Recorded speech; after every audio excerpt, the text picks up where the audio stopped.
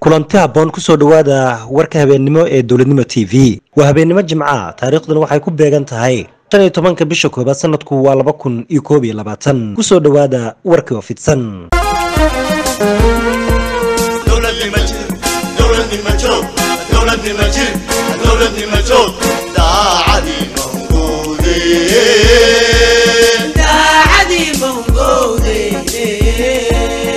war ka soo baxay taliska ciidamada maraykanka ee africom ayaa lagu sheegay in howlgalkan ay iska kaashadeen iyagii ciidamada dowladda soomaaliya ka fuliyeen gobolka baay gaar ahaan deegaan lagu magacaabo buulafulay war ka soo baxay africom ayaa lagu sheegay in duqeyntaasi lagu dilay xubno ka tirsan ururka al-shabaab sidoo kaleetana lagu burburiyey. Mid ka mid a xarumahoodii deegaanka qoraalka ayaa lagu yiri duqeymaha noocani ay yihiin kuwo wiiqaya hoosna u dhigaya awoodda ururka al-shabaab oo khatar ku ah soomaaliya iyo dalalka dariska intaba. Waxay sheegeen inuu qorshuhu yahay in ay waayaan kooxdani in meel ammaan ah ay ku dhuumaalaystaan. Maraykanka ayaa sii wadaya duqeymaha oo ka geysanaya soomaaliya. Waxaana marar badan hore loogu eedeeyey in duqeymo noocaani ah maraykanku ay fuliyeen ay waxyeelo ka soo gaartay dad rayid oo ku nool deegaanada ay gacanta ku hayaan ururka al-shabaab. Booliiska dalka kenya ayaa bilaabay baadigoobka lix ka tirsan dagaalyahanada al-shabaab oo arbacadii weerar ku qaaday gaari basa oo marayay aagga degmada wajeer oo u dhow xadka dalka soomaaliya. Booliiska ayaa sheegay in dagaalyahanadan oo hubaysan watayna qoryaha ak forty seven ay joojiyeen almukaram baskaasi oo ku sii jeeday nairobi kana yimid magaalada mandheera iyaga oo ka qaatay kirishbooyadii la socday baska lacag ah afartan kun oo shilinka oo u dhigmata saddex boqol iyo lixdan iyo afar dollar. Waxa ay rideen hal xabo waxa ayna ku amreen dhammaanba rikaabka saarnaa inay baska degaan waxayna kala soocayeen rag iyo dumar iyaga oo weydiinayay in baska ay la socdaan dad aan deegaanka ahayn iyo dad weliba shaqaalaha dowladda ka tirsan ayay booliisku ku sheegeen warbixin ay soo saareen. Sida laga soo xigtay booliiska kooxda weerarka ku qaaday baska ayaa waxa ay qaateen xoogaa cunna ah oo saarnaa waxa ayna uga digeen wadaha gaariga in uu ku qaado dadka aan deegaanka ahayn. Booliiska ayaa sheegay in markii dambe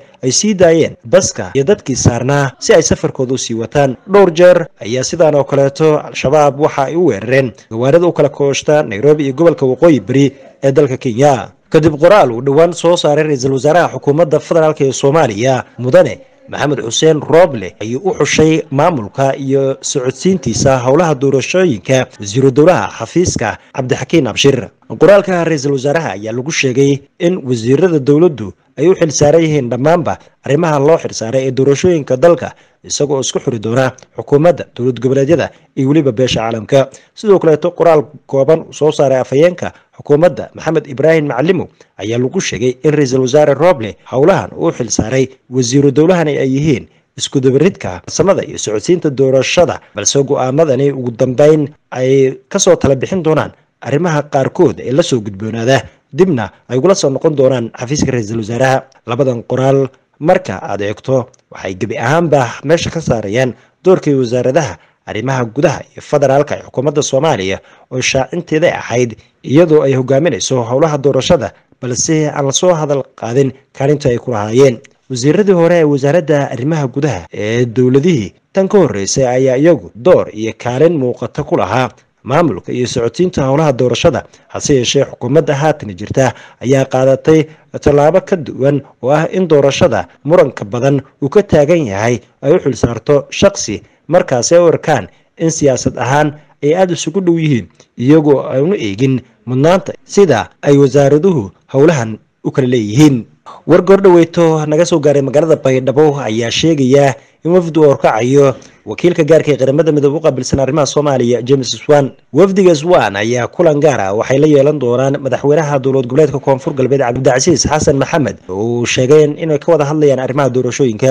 Madaxweynaha koonfur galbeed ayaa dhowaan ku laabtay magaalada baydhabo kadib kulan uu madaxda dowladda kula yeeshay magaalada muqdisho waxaana jira warar soo baxaya oo sheegaya in madaxweyne lafta gareen uu bilaabayo doorashada aqalka sare. Beesha caalamka ayaa ka digtay in la qabto doorasho aan loo dhammayn oo aysan ka qaybgelin dhinacyada ay khusayso idil madaxweynaha gobolka soomaalida ethoobiya mustafa maxamed cumar ayaa sheegay in isbeddelka ka dhacay dalka ethoobiya oo deegaanka soomaalida u horseeday bareere iyo weliba xorriyad ballaaran.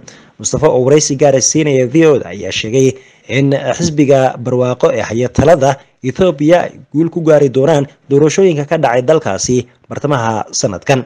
Mustafa ayaa dhinaca kaleeto waxa uu sheegay inaysan jirin wax faragelina oo dowladda ethoobiya ay ku hayso dalka soomaaliya inkastoo uu qoray. In dowladihii ka horreeyey ethoobiya tan hadda haatan jirta ayay markaasi faragelin ku hayeen arrimaha soomaaliya. Madaxweyne ayaa si weyn u dhaleeceeyey maamulka dowladdu ay ku weerartay t b l f oo uu sheegay in dhibaato xoogan ay ku hayaan dadka soomaalida. Waxa uu sidoo kaleeto tilmaamay inay diyaar u yihiin sidai ay uga wada shaqayn lahaayeen dalalka ku yaalla bariga si loo dhammeeyo dhibaatooyinka ay markaasi wajahayaan. Waatahay daawadayaal waxaynu soo gaarnay qodobkii ugu dambeeyey ee wararka. Dadka reer uganda ayaa bilaabay in ay u codeeyaan doorasho kacsan iyadoo ammaanka aada loo adkeeyey iyadoo cabsi weyn ay ka taagan tahay internetkana la gooyey. Internetka ayaa hawada ka baxay. Maalintii codbixinta iyadoo qayb ka mid ah uganda looga soo sheegayo carqalad weyn iyo weliba arrimo cabsiya. Madaxweynaha dalka uganda yoweri museveni ayaa sheegay galinkii dambe ee talaadada in dowladdu ay xirtay baraha bulshada ee dalkii sababo la xiriira. Waxa uu ku sheegay in dhaqanka iyo cadaaladdu aysan ahayn in baraha la xiray. Waxaa ku jira facebook iyo twitter-ka. Shirkadaha teknolojiyadda ayaa sii waday in ay xiraan xisaabaadka qaar ka mid ah taageerayaasha xisbiga talada haya. Inkastoo mudaharaadyo ay kaga hor yimaadeen dowladda museveni ay ku sheegeen khudbad telefishinka uu ka sii daayey. Ku guuldarraysasada in uu sii hogaaminayo ku guuldaraysigiisa in ay u hogaamsamaan codsigii dowladda ahaa in la xiro. Koonada ayaa kaliftay in uganda sidoo kaleeto ay go'aansato in ay xanibto marinkii facebook iyo twitter-ka siduu yidhi madaxweyneha museveni ayaa xukunka hayay in ka badan soddon sano iyo ninka sida weyn ula tartamaya ee bob ribert oo ayaa isna ka mid a musharaxiinta ka qayb qaadanaya doorashooyinka kulul ee lagu tartamayo. Haddaba justice simon oo ah guddoomiyaha guddiga doorashooyinka ayaa sheegay in guddigu ku dhawaaqi doono natiijada madaxtinimada muddada loo baahanya afartan iyo sideed saacadood kadib marka la xiray goobaha codbixinta. Museveni ayaa doonaya in markii lixaad uu xafiiska qabto isaga oo xukumayay dalka uganda ku dhowaada afartan sano waxa uuna loolan aan cadaalad ahayn kala kulmay. Heesaaga siyaasiga noqday ee bob win oo soddon iyo sideed jira. Guud ahaantaasaan ku soo gabagabeynaya wixii war naga soo gaaray caawa dal iyo dibadda aad kala socoteen dowladnimo t v. Fadlan haddii aad nagu cusubtaa nagu soo biro subscribe sar lana wadaag asxaabtaada kale mahadsanidii